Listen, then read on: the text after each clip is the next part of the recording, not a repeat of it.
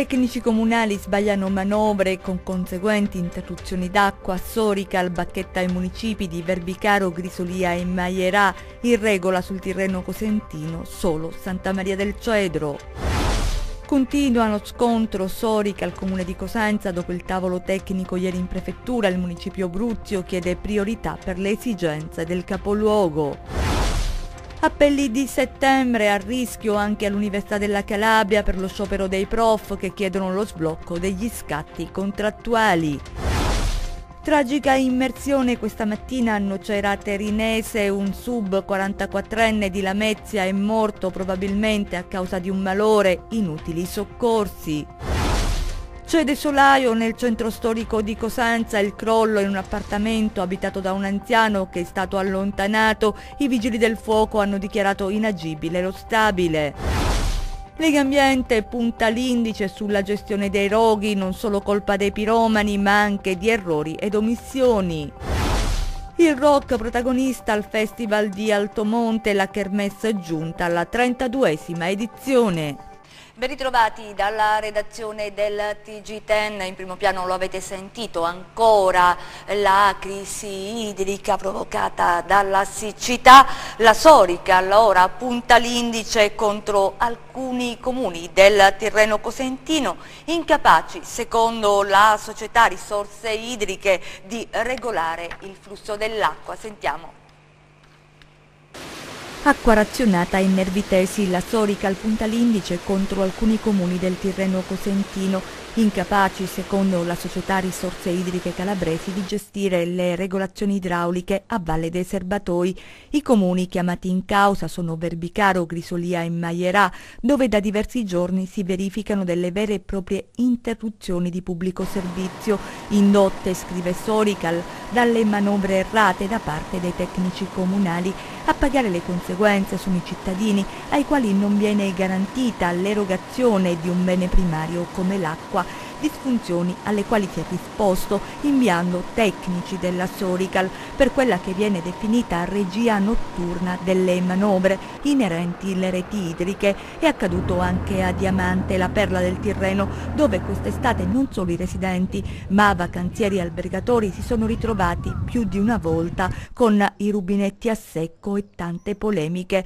Dei comuni serviti dall'acquedotto Pantanelle, si precisa, solo il comune di Santa Maria del Cedro non risente di alcuna carenza idrica, il perché nell'investimento fatto negli ultimi tre anni nell'efficientamento della rete interna comunale, aprendo due serbatoi e applicando la tariffa a consumo, abbandonando quella a forfè peraltro illegale. Pertanto Sorical, conclude la nota, invita i sindaci ad attivarsi qualora il serbatoio di riperimento non raggiungesse il livello ottimale per garantire la fornitura sul territorio con delle chiusure della erogazione del medesimo e non con un'ulteriore richiesta di aumento di fornitura che non potrà essere basa per lo stato attuale delle sorgenti. Sarebbe oltremodo opportuno che la programmazione degli interventi strutturali della rete idrica comunale partisse già dai primi del mese di settembre, evitando, come già accaduto, che il problema si traduca in emergenza in estate e in particolare a Ferragosto. La risorsa acqua non è infinita e non va sprecata. Prevenzione, ossia attivare misure che consentano una erogazione ottimale del prezioso liquido per evitare che l'emergenza acqua si trasformi in un tormentone come il mare sporco. E ieri vi abbiamo parlato del tavolo tecnico in prefettura tra Sorica e i 25 comuni serviti dall'Abate Marco. In sostanza la Sorica l'ha chiesto ancora sacrifici ai comuni, eh, la risorsa idrica, l'acqua insomma va razionata sempre di più. Il comune di Cosenza dice la città capoluogo ha delle priorità, non può essere messa alla stregua degli altri comuni più piccoli Napoli. Abbiamo in linea il sindaco di Cosenza, eh, l'architetto Mario Chiuto. Sindaco, benvenuto intanto al nostro TG. Buongiorno. Allora, eh, torniamo eh, al tavolo di ieri. Quali sono le esigenze del Comune di Cosenza e perché Cosenza non può accogliere l'appello della Sorical? Ma guardi, Cosenza eh, non solo ha accolto l'appello di Sorical, ma eh, in questi anni ha subito più volte del, dei tagli di fornitura da parte di Sorical eh, sulle quantità che, che, avevamo messo in convenzione, cioè noi abbiamo chiesto, eh, abbiamo convenzionati 311 litri al secondo e invece ne abbiamo quasi, quasi sempre almeno 30 litri in meno. Adesso cosa succede? Che eh, io ho fatto un'ordinanza per la messa, per, per obbligare Sorical a fornire questa quantità minima che è necessaria per, la, per i cittadini di Cosenza e prima il Consiglio di Stato nel 2012, poi adesso anche il Consiglio Superiore delle Acque Pubbliche ha dato ragione al Comune di Cosenza. Quindi di conseguenza Sorica sarebbe obbligata, è obbligata a fornire quella quantità e soprattutto è obbligata a, a farci controllare le quantità di acqua che ogni giorno entrano in città perché queste quantità sono pagate poi dal Comune di Cosenza e di conseguenza da parte dei cittadini. Però, mh, poiché in questo momento c'è siccità ed è un problema di tipo eh, regionale, di tipo complessivo, perché negli anni passati evidentemente non sono stati fatti gli investimenti adeguati, perché altrimenti la Calabria non avrebbe assolutamente nessun problema eh, da un punto di vista appunto, de, della qualità di acqua che ha a disposizione ma probabilmente, anzi sicuramente negli anni passati non è stata fatta una corretta politica in questo senso. Quindi noi abbiamo detto di accogliere per questi mesi una eh, percentuale, così come quella che è per i comuni contigui, di riduzione ecco, di fornitura dell'acqua, eh, di accogliere la proposta di Sorical di, di riduzione diciamo, di questa quantità. Fermo restando vuol dire che vogliamo agire eh, anche per risolvere definitivamente questo problema. E Sorical deve fare eh, tutto quello che diciamo, negli anni può consentire poi eh, di, eh, di, di, portare l'acqua nei rubinetti delle, delle, case dei calabresi senza nessun problema. Sindaco, velocissimamente, che... condotta, il vero problema è che l'Abate Marco è una condotta vetusta, eh, ci sono moltissime perdite riparare queste condotte è compito di Sorical o dei comuni? No, la condotta di Abate Marco è di proprietà di Sorical, quindi i comuni non possono assolutamente intervenire, interviene eh, Sorical. Ovviamente questa, eh, questa, condotta è molto lunga, è una condotta che ormai ha diversi anni e quindi ha, si verificano eh, problemi ogni settimana, noi abbiamo quasi eh, due, due, due interruzioni all'anno su questa condotta. È chiaro che i cittadini, lei mi fa la domanda, evidentemente neanche lei per esempio conosce qual è eh, diciamo, il, il, problema vero, ma i cittadini scaricano sui comuni, tutto sui comuni e sui sindaci. In realtà eh, queste condotte sono le reti di adduzione che fanno, sono, fanno parte dell'acquedotto regionale che è gestito da Sorica. Quindi eh, il eh, gestore regionale deve, come è stato fatto in altre regioni, assumersi la responsabilità e dire chiaramente ai cittadini che c'è un problema vecchio di gestione degli acquedotti regionali da parte della Regione Calabria, non sono stati fatti investimenti adeguati, non è stato mai immaginato diciamo, un ciclo virtuoso uh, di gestione dell'acqua che vada dalla, dalle sorgenti che arrivi fino ai cittadini direttamente. E quindi non, non sono stati mai fatti gli investimenti e alcune, alcuni sono in corso da decine di anni come eh, la diga del Menda, quella dell'Esaro, insomma, eh, qui bisogna che ognuno si assuma le responsabilità, poi è chiaro, i comuni faranno la loro parte, ma una parte che è assolutamente eh, diciamo, non uh, risolutiva insomma, della questione che riguarda il problema dell'acqua. Noi Grazie. per quanto ci riguarda abbiamo, abbiamo comunque eh, abbiamo l'ordinanza che è stata eh, così eh, convalidato al Tribunale delle Acque, quindi ci aspettiamo che Sorical si, si, si comporti di conseguenza, altrimenti è un reato penale. Grazie, grazie per essere stato con noi, le auguriamo buon lavoro e noi cambiamo, grazie, cambiamo argomento, parte lo sciopero dei prof all'università, anche l'Università della Calabria, ci sono esami a rischio, protesta dei docenti che chiedono lo sblocco degli scatti di stipendio bloccati negli anni scorsi, ci sono gli studenti molto preoccupati, vediamo. Cinque anni di lavoro buttati al vento, un lustro scomparso nel nulla. I docenti universitari protestano per rivendicare il diritto a vedersi riconosciuti gli scatti dello stipendio, sospesi dal 2011 al 2015. Dal 1 gennaio 2016 lo stipendio di docenti e ricercatori ha ricominciato a crescere, ma senza effetti pregressi. Sono cinque anni assolutamente cancellati, eh, non esiste più l'anzianità di servizio, come se per cinque anni nessuno avesse lavorato, eh, sebbene dal, dal primo gennaio del 2016 gli stipendi siano stati bloccati, eh, i cinque anni precedenti sono stati totalmente cancellati.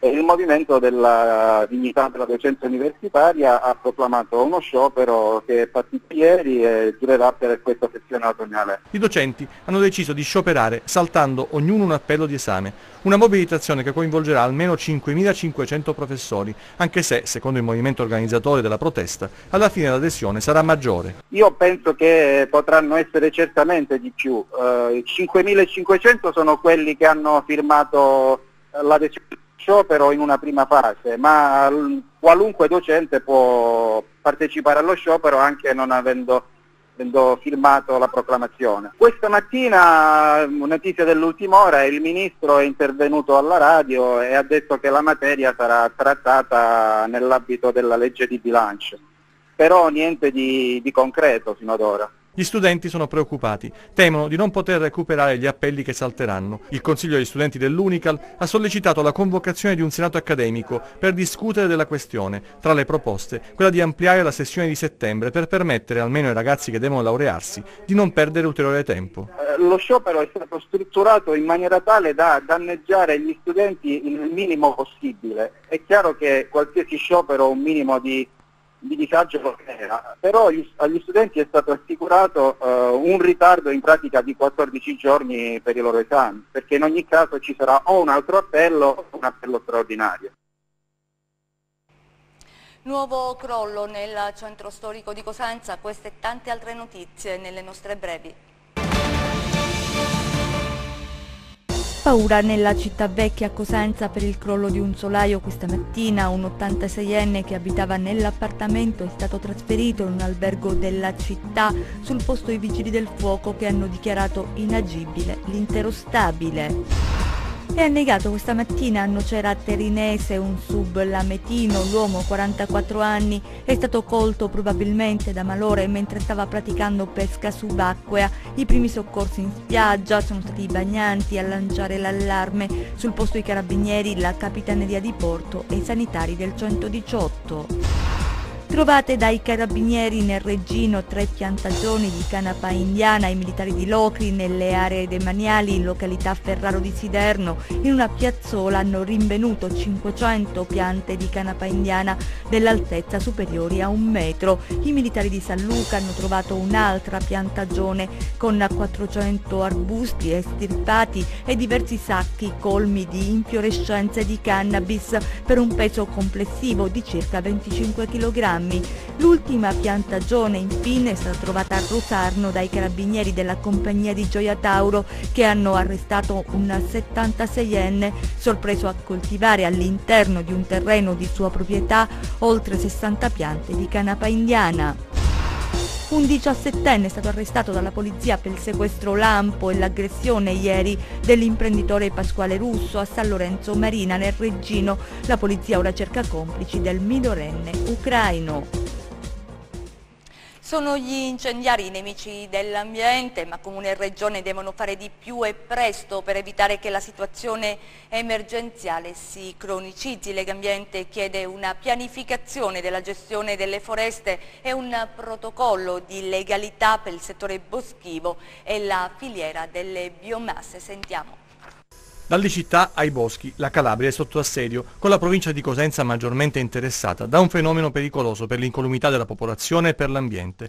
In attesa di fare una stima definitiva dei roghi e dei danni, il bollettino purtroppo si aggiorna di ora in ora, Lega Ambiente stila un'agenda di cose da fare per far sì che l'estate 2017 non si replichi all'infinito, così come tutte le altre emergenze calabresi. Bisognerebbe che i comuni finalmente dessero seguito a quello che è un'imposizione legislativa, quella di realizzare il catasto delle aree percorse dal fuoco, di modo che gli interessi poco leciti che ci sono all'interno della nostra regione, nella filiera del bosco, legati soprattutto al, al ragionamento dello sfruttamento della, della, biomassa, siano demotivati. La legge quadro sugli incendi eh, praticamente pone il divieto di 15 anni del cambio di destinazione d'uso e quindi questo impedirebbe gli appetiti dell'andrangheta nella zona di, Capo, di, di, Suvereto a Isola Caporizzuto, oppure quello di utilizzare la biomassa perché c'è il divieto per 5 anni di attività di rimboschimento. È vero, sono gli incendiari i maggiori responsabili di quanto sta accadendo, ma non è esente da colpe chi non programma o ritarda l'attività di contrasto per approssimazione o inefficienze. La Regione dal suo conto deve cercare di programmare anzitempo quel che è il piano eh, di, incendi, eh, di avvistamento incendi boschivi, perché è inaccettabile che la legge impone dal 15 giugno debbano essere avviate tutte, pianificate tutte le azioni e Calabria Verde approva il piano esecutivo dell'avvistamento di incendi boschivi il 3 luglio e stipula la convenzione il 3 luglio, quindi nessuno può tirarsi fuori rispetto a quelle che sono le proprie competenze, perché poi leggiamo gli articoli nazionali sulla stampa nazionale che dicono come abbiamo 5.833 operai forestali e non riusciamo a garantire il presidio del territorio perché è chiaro che c'è stata la mano dolosa degli incendiari, ma c'è stata l'irresponsabilità nell'intervento a terra, i ritardi, incendi che sono partiti e ripartiti più volte, perché è chiaro che non può essere solo l'intervento aereo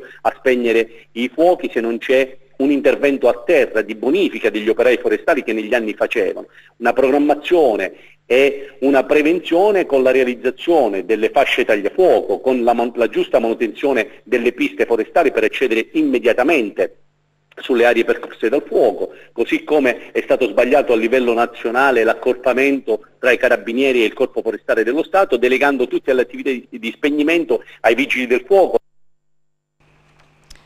La crisi edilizia al centro di un convegno organizzato a Vibo Valencia, il presidente di Confedilizia Speziani Testa e il parlamentare Capezzone hanno affrontato i temi legati alla tassazione eccessiva che ha trasformato gli immobili in investimenti persi. Sentiamo.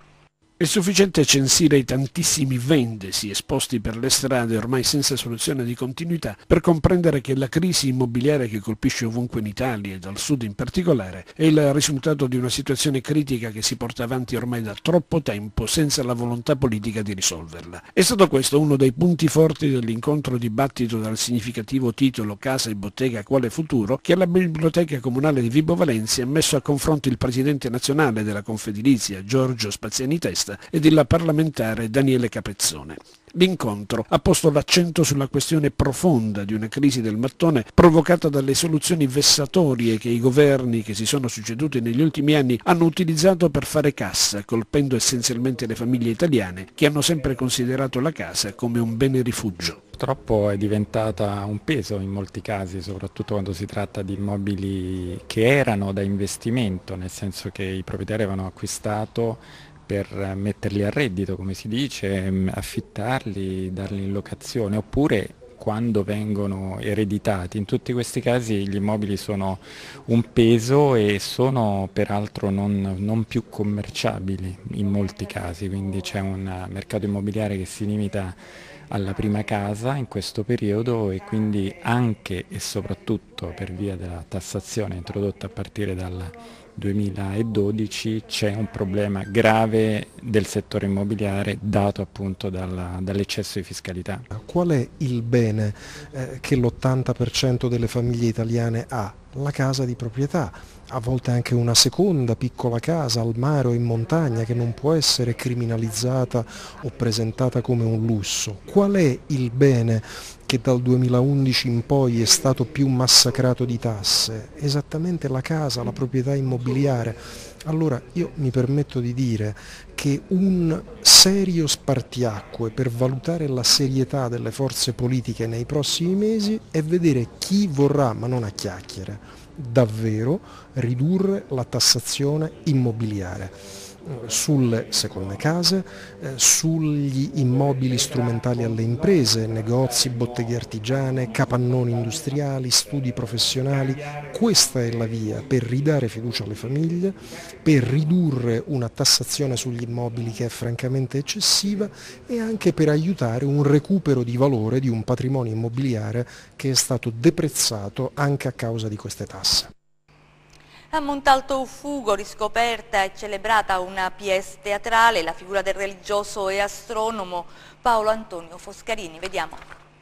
Fatti non foste a viver come bruti, ma perseguir virtute e conoscenza.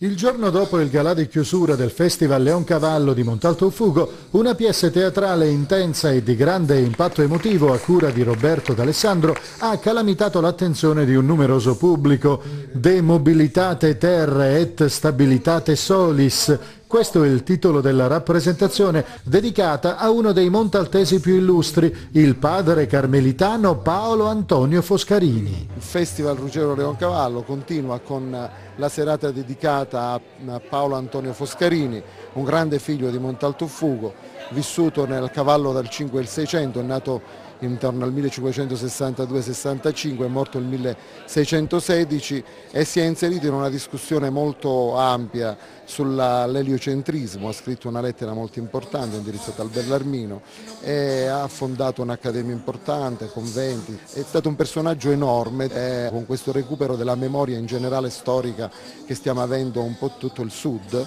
anche Montalto prende coscienza dei suoi figli più importanti, grande pensatore che sarebbe il caso ecco, di studiare più approfonditamente.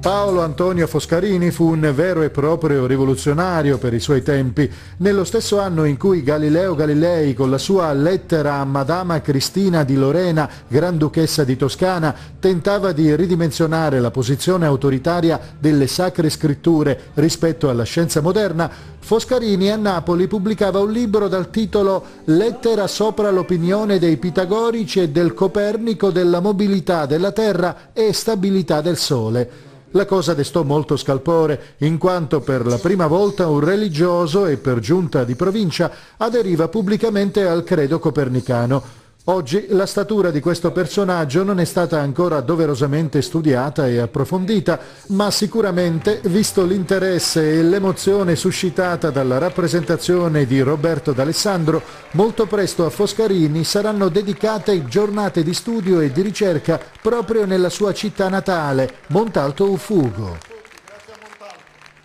Ad Altomonte adesso per il rock che è stato protagonista del festival, vediamo.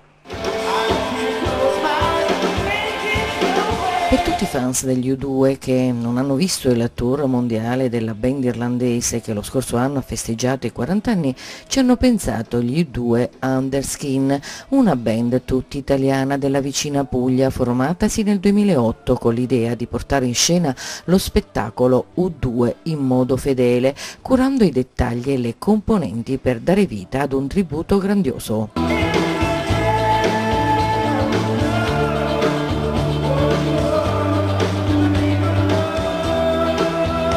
Viaggio musicale della famosa band irlandese formatasi a Dublino nel 76 ha fatto cantare le persone dell'anfiteatro Costantino Belluscio nella diciassettesima edizione dell'Altomonte Rock Festival diretta da Giulio Pignataro ed inserita nel cartellone della trentesima edizione del Festival Euromediterraneo patrocinato dalla locale amministrazione comunale. Vedendo dei video abbiamo scelto gli Udo Underskin perché imitano totalmente la, la rock band irlandese e soprattutto sequenzialmente fanno i brani più conosciuti. Un viaggio nel tempo e negli anni della band irlandese, riproponendo i brani più conosciuti e apprezzati di una delle rock band più acclamate al mondo. Hanno avuto oltre 100 date quest'anno, quindi in tutto il sud Italia e Altomonte è una delle mete degli U2 Underskin. Nicola Marra Bono, Roberto Marra, Edge, Alessandro Spenga, Larry Mullen, Rocco Mauro, Adam Clayton hanno riproposto il vasto repertorio che riprende le origini degli U2. È stata la, la rock band che ci ha fatto sognare da Juan, da Guido Guidaucio, Sant'Ebla di Santi.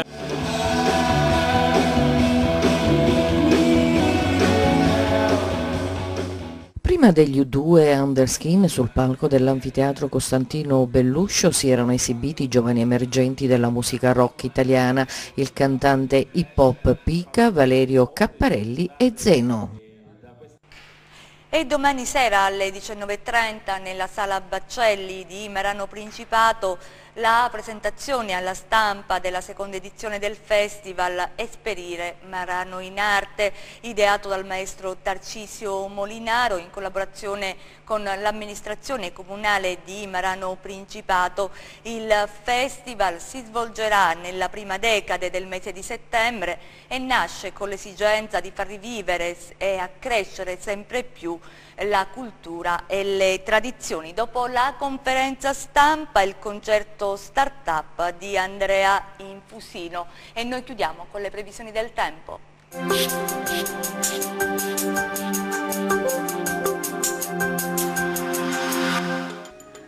Ben ritrovati da meteoincalabria.it Oggi possibili temporali pomeridiani, poi da domani tornerà a rafforzarsi l'anticiclone africano che manterrà le temperature sopra media in un contesto di bel tempo.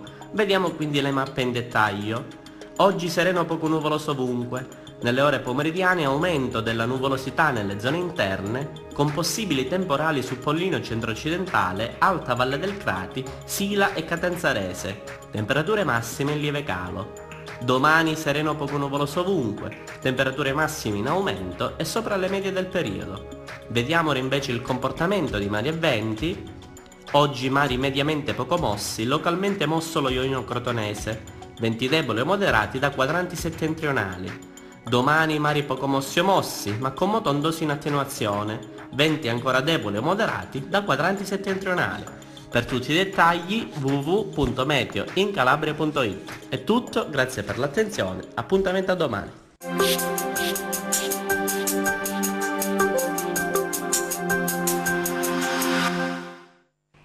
Ci fermiamo qui, grazie per essere stati con noi, vi auguriamo un buon proseguimento.